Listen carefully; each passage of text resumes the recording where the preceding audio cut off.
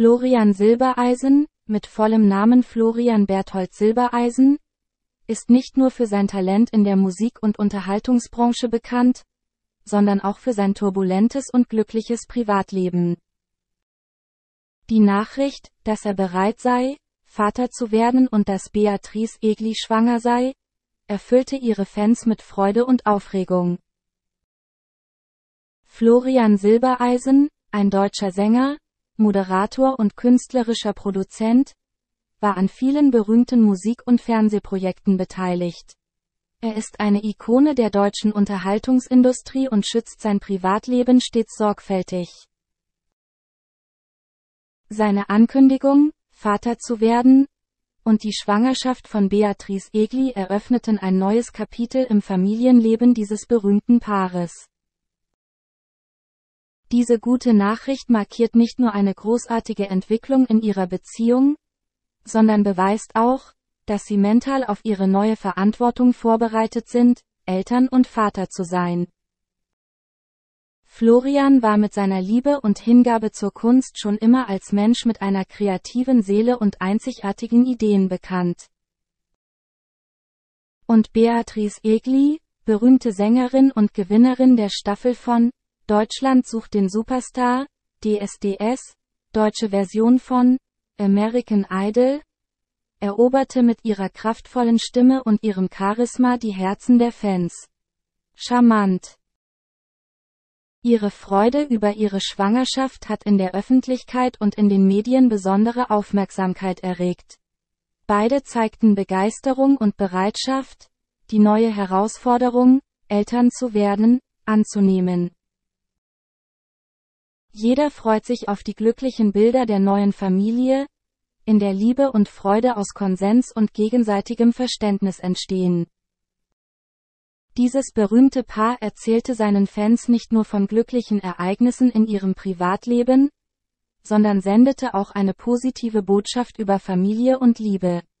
Ihr Leben wird attraktiver, da sie sich auf eine neue Reise begeben, bei der sie sich um ihre Kinder kümmern und ihnen beim Aufwachsen zusehen. Die Bereitschaft und Freude von Florian Silbereisen und Beatrice Egli an der Schwelle zum Elternwerden hat in der Öffentlichkeit eine Welle der Positivität und Aufmerksamkeit ausgelöst. Wir warten auf neue Schritte auf ihrer Reise, die unvergesslichere und glücklichere Momente in ihrem persönlichen und künstlerischen Leben markieren. Florian Silbereisen und Beatrice Egli haben Aufmerksamkeit und leidenschaftliche Unterstützung von ihrem Fandom und ihren Musikfans erhalten. Ihr Familienleben wird in der kommenden Zeit zu einem besonderen und bemerkenswerten Zustand. Der Konsens und die Liebe zwischen diesem Paar senden eine starke Botschaft über Familie, Glauben und die Bereitschaft, positive Veränderungen anzunehmen. Die Fangemeinde gratulierte Florian und Beatrice nicht nur zur guten Nachricht, Eltern geworden zu sein, sondern wollte auch ihre Freude und Erwartungen an ihre neue Familie teilen. Das Markenzeichen des Familienglücks und der Magie des Lebens wird durch dieses Künstlerpaar verbreitet und hinterlässt bei vielen Menschen eine positive und ermutigende. C'est Jérôme, le chanteur, oublié depuis son décès tragique. De son véritable nom, Claude Gérard d'Hôtel, le chanteur est né le 21 décembre 1947 à Paris. C'est après son service militaire en 1967 que sa carrière d'artiste commence. Il choisit alors son nom de scène avec la lettre C, comme initiale de son prénom Claude et Jérôme, pris au hasard. Ses premiers titres, Le Petit Chaperon Rouge est mort et Quand la mer se retire, le font connaître. Il connaîtra la gloire dans les années 70 et s'imposera par son style, sa bonne humeur et son look toujours soigné. Ses chansons, La Petite Fille 73, Himalaya et Tu danses avec lui ou encore Kiss Me seront entonnées dans tous les coins du pays. Après avoir reçu plusieurs récompenses dont celle de chevalier de l'ordre du mérite, il est reconverti en animateur radio à partir de 1995.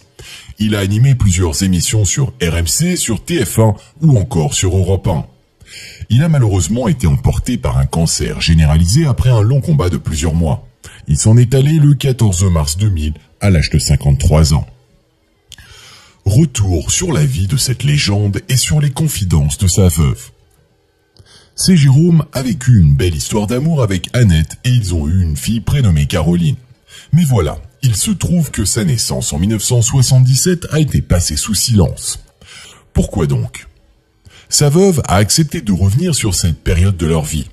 On apprend alors que son défunt mari ne voulait pas que le public découvre l'existence de leur enfant, car cela aurait pu nuire à sa popularité et ternir son image.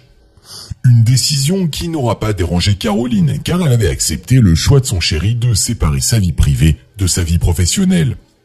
Annette a donné plus de détails en parlant davantage de ce lourd secret que gardait l'artiste. Il ne voulait absolument pas que les fans découvrent qu'il a fondé une famille. Il faut dire qu'il a fait craquer des